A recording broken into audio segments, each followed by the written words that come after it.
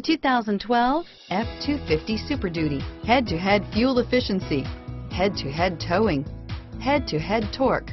Ford F-250 Super Duty. This vehicle has less than 65,000 miles. Here are some of this vehicle's great options.